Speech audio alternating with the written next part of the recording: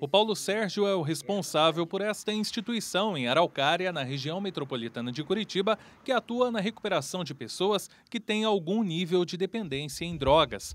Hoje, à frente da casa de acolhimento, lembra bem que um dia também precisou de ajuda.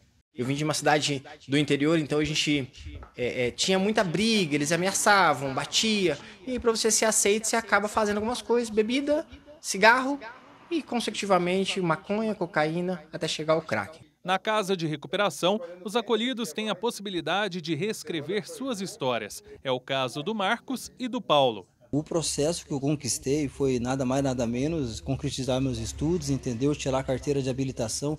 Para muitos isso é pouco, mas para quem não tinha nada, isso não tem preço. Realmente, cara, é um projeto que está fazendo toda a diferença na minha vida aí, cada dia mais. Não é fácil, né? O começo, tudo que a gente for começar do começo não é fácil, mas é necessário, né? A gente permanecer para ter uma, uma mudança aí para a vida da gente. Em 11 anos, o projeto já atendeu cerca de 400 pessoas. E para que essa história não acabe, a ajuda financeira é indispensável. O Paraná anunciou que irá repassar 10 milhões de reais por ano para comunidades terapêuticas. A iniciativa integra o programa de atenção às pessoas em situação de uso prejudicial de álcool e outras drogas. O projeto é realizado por meio da Secretaria de Estado do Desenvolvimento Social e Família.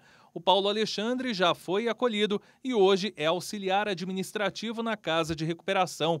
E ele sabe como essa ajuda é valiosa. Com, com pouco recurso, a gente já consegue se manter, a doação e o empenho de todo mundo aqui no trabalho interno.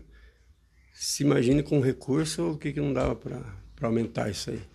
Para a equipe técnica, mais funcionários. O processo de recuperação só é possível quando há apoio. E ele precisa vir de vários setores da sociedade. Quem já passou por momentos críticos fala da importância da persistência. Passei momentos difíceis, não aqui por causa da casa, mas por causa de eu estar me conhecendo melhor e antigamente eu não me conhecia. E o processo foi muito bom. A gente consegue ficar sem a droga de tanto que já estou aqui cinco meses e não sinto vontade.